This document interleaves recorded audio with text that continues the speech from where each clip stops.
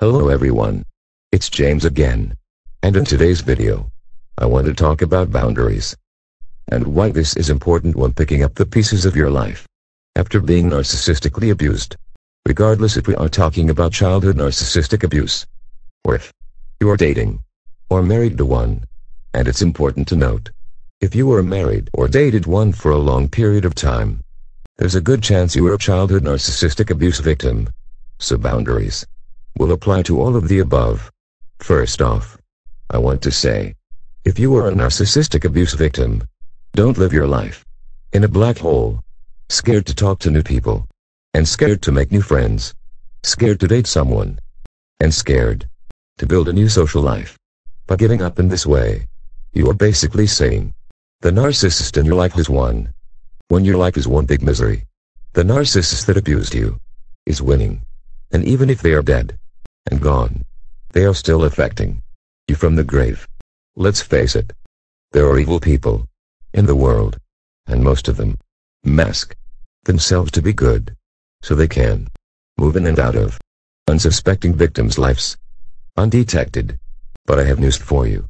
Since you were abused by these types, you know all the warning signs, red flags, and things to watch out for.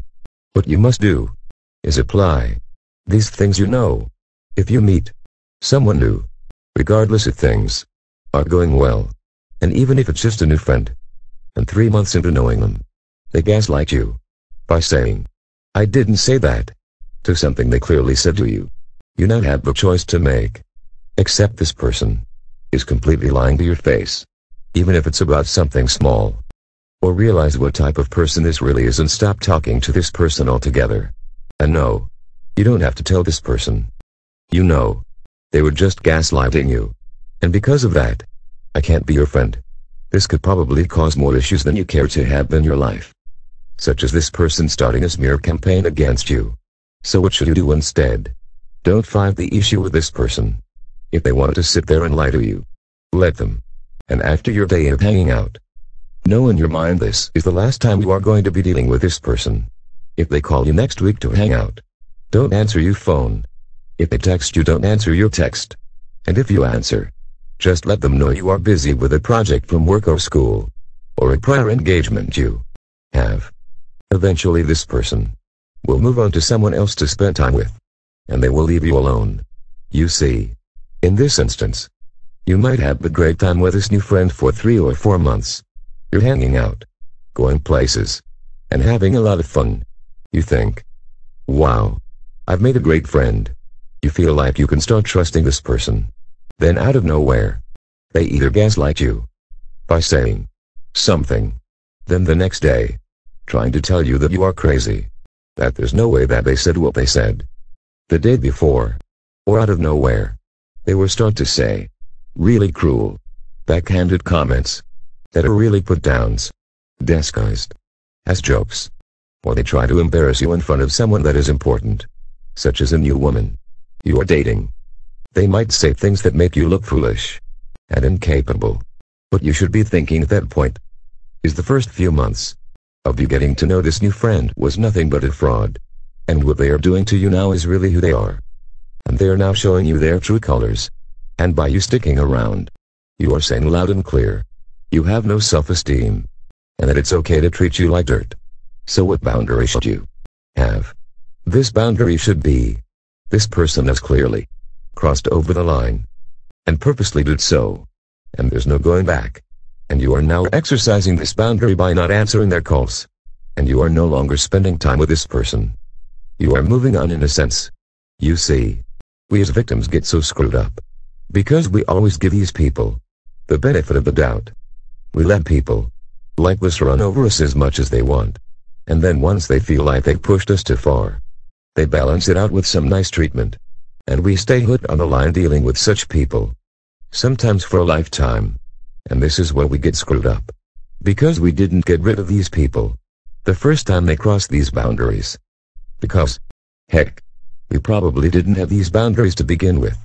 But if we would have gotten rid of these people from our life on month one, or two, or three, guess what? We would have been free to meet people that are good, and that don't treat people this way.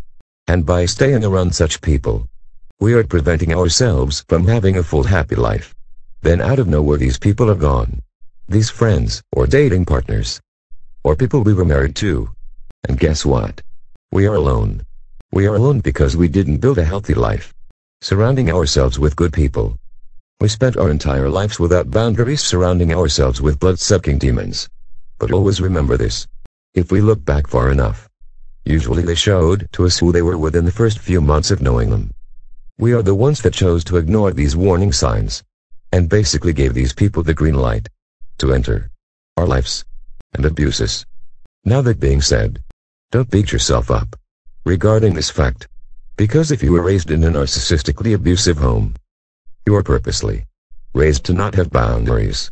You are raised and conditioned to be a door mat and to keep chasing after your abuser, asking them, why oh why are you abusing me? Why can't you treat me the way I treat you? We were conditioned to be this way. But today's a new day. You've learned better. And you have learned different. Think about this fact. If someone has a good family around them, and if they meet a friend that's toxic, they can quickly leave this so-called friend alone, and easily hang out with their brothers, sisters, or cousins. It's kind of like having a built-in friend foolproof system.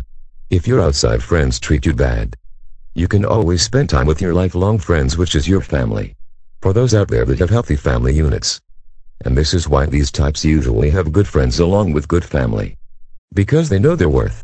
And they were conditioned to get rid of people that aren't like their family. People that treat them bad. People that don't match their family dynamic. So they get rid of people that don't fit their family dynamic. But you, your family dynamic is toxic. It's full of people trying to destroy your life. All the while, pretending they are the best parents on God's green earth. Your family dynamic is full of blood-sucking energy vampires.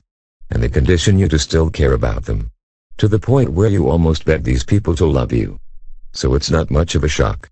All of your friends you've met, and people you've dated or have been married to, are these same type of blood-sucking energy vampires.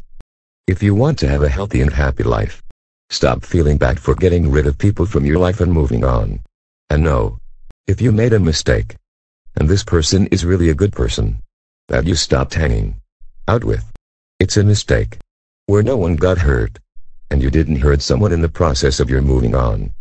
Again, there's no need for telling off someone. Because what if you are wrong? And even if you're right, all it will start is a bit mess that could have been avoided. If you've known someone for a few months, the best way to move on is to not pick up your phone when they call. No explanation. No nothing. Just move on. And if it's someone you're dating, just let them know that you're not in love. And you're not feeling that spark. And that life is short. And people you're not feeling those deep feelings with. You don't want to waste any more of your or their time. Wish them luck. And move on. No need to accuse them of being a narcissist. No need to tell them all the red flags you've noticed about them. Because, heck, they will just deny it anyway. Just move on. Now, there are instances when we all put our foot in our mouths including our friends and the people we date. You can tell there is a sincere sorrow about a situation. Because this person can come to you without you coming to them and explain in detail what they did to you and how wrong it was and why are they sorry for saying or doing what they did. Mind you, I would only stick around if this was something very small in nature. And it was caught by the person acting this way. Right as it was happening. We've all caught ourselves and said, I'm sorry. That was a bad way of putting things. I hope I didn't insult you just now. And guess what? Usually such a situation will never happen again. But with narcissists and other toxic people it always does happen again. Even if it's a few months later. It always happens again. One thing you need to do is go back to your early friendship. Or when you first started dating. And if they treated you like you were the best friend on earth. Or you were the best person they've ever dated. Then out of nowhere, a few months later, they are insulting you for no good reason. It's a good indication this person is doing the narcissistic sweet mean cycle on you. Where they reel you in with good behavior. And when you are now committed to being their friend or dating partner, they then start treating you like dirt. or making backhanded comments disguised as jokes. And part of this is to see if you are going to just sit there and take it. Think about how many times you were sitting there with your best friend. And out of nowhere they started insulting you with mean put downs. And you just sat there, laughing it off pretending there's nothing wrong. And all the while the so-called friend knows they now have the green light to verbally abuse you anytime they want. And that you must be desperate for a friend. Because no one in their right mind would sit there and take this kind of abuse. This is where boundaries come into play. You make an excuse to cut the night or day short. And you go home. And when they call you to hang out again, you are busy with this or that. And eventually they will lose interest in you. And you will be able to move on to someone that values your friendship. And that sees you for who you really are. And that's a good friend. Or a good dating partner. With good potential for more. But you will never meet these good people if you are wasting your time. I mean this with all of my heart. You are literally wasting your time. With evil. People that are doing nothing. But just feeding off of your pain. So in order to have these boundaries, you need to stop feeling guilty for having these boundaries. If you stop hanging out with someone because of how they are treating you, don't feel guilty about this. No one is getting hurt by you doing what's right for you. Trust me. They will move on and meet someone else. And so should you. And after you've done this a few times, you will notice something really strange. Three months into knowing this person, or that person, you aren't being gaslit. A year later, they haven't tried the sweet, mean cycle on you. And five years later they're still your friend. Or your dating partner. And any joking around is mutual and harmless, not mean-spirited and sadistic. You see having boundaries are simple. Enforcing them. For those that have spent a lifetime being narcissistically abused is hard. But you have to do it. You have to if you want to live a happy and full life. And you can't feel guilty about walking away from someone that's giving you backhanded comments, put downs, or someone that's running the sweet mean cycle on you, or someone that's gaslighting you, telling you they never said something. They clearly said to your face. Life is too short to spend with these types of people. And I will tell you this. There are some good people out there. Yes. There are some good people out there. But you will only know them. If you get out of the house. Live your life to the fullest. You have boundaries. And you enforce these boundaries. Like I always say. Knowledge is power. The more we know, the more we can live happy and healthy lives. Until next time. Bye for now. And be good to yourself.